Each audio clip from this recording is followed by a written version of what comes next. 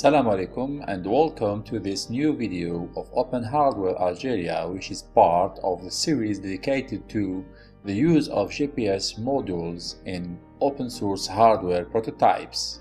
This video will show you our connected GPS tracker project using GPRS technology. This video will be the first in a series that will explain step by step the component of our tracker for this first video of the series, we will present the hardware components that form our device, followed by a test of our device. The next video will be cover the MQTT protocol used by the Arduino program as well as the client of our tracker on our PC. A third video will cover and explain uh, the program of the Arduino and the program on our PC. For the purposes of this video, we have set ourselves a number of goals, which are The device must be based on Arduino Uno. The assembly must be simple. The program must use standard and easy-to-use libraries. First, we have our Arduino Uno.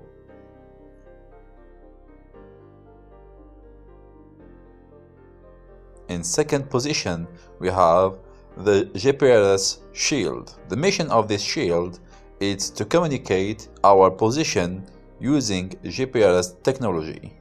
The third component is a SIM28, a GPS module. And finally, we use a Groove shield to, to simplify the connection of SIM28 mm, GPS module. I wish to point out that this list is only an example of material combination for our assembly and it's not at all restrictive. If you want to change this list, just check your component with, the libraries that used our program and will be discussed in our third video of the series. We are now going to see how to mount our prototype tracker we start by mounting the child Groove on the Arduino.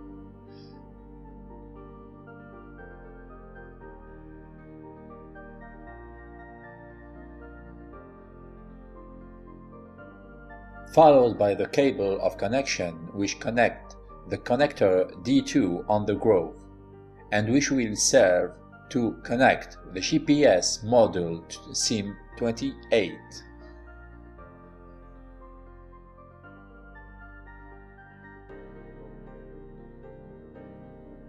Then we have to connect the GPRS shield.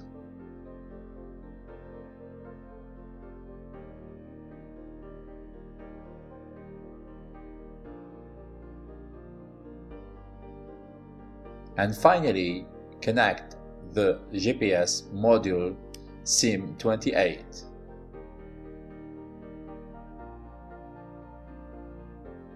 And voila, our prototype is done.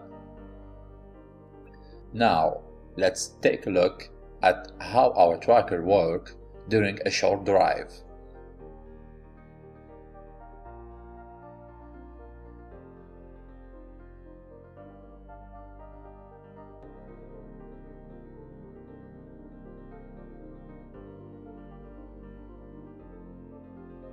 Now you can see our prototype connected to a power bank.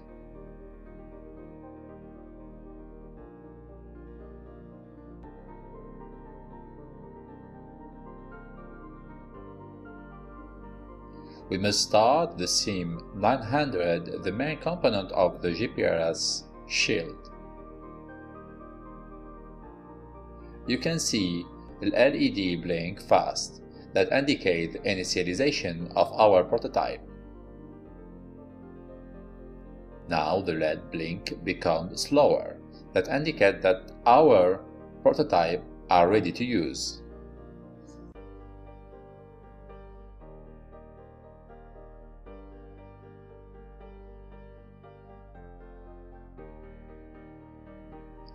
On the side of the client tracker on the PC. We have to launch the program OHA tracker in its version 0.01. It is necessary to click on File, then on Connection to connect to the broker MQTT. Do not worry, we will speak about the protocol MQTT in our next video. On this project, we will choose the free broker of the site hivemq.com. Then we choose the communication port. And here we are connected with an ID OHA.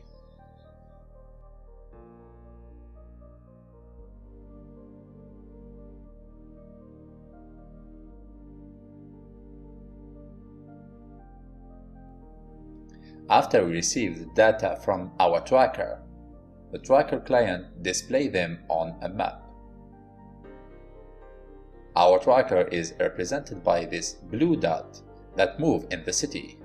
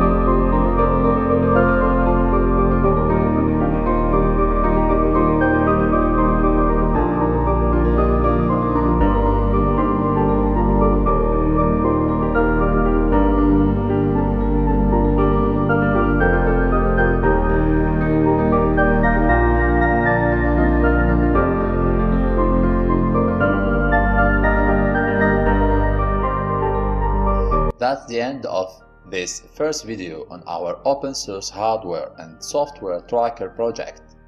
In the next video, we will talk about the MQTT protocol in detail. Do not forget to subscribe to our channel to hear about this project and not miss our next publication. Give us the, your opinion on this project expressed in the comment of this video or using our social network. And to finish, salam.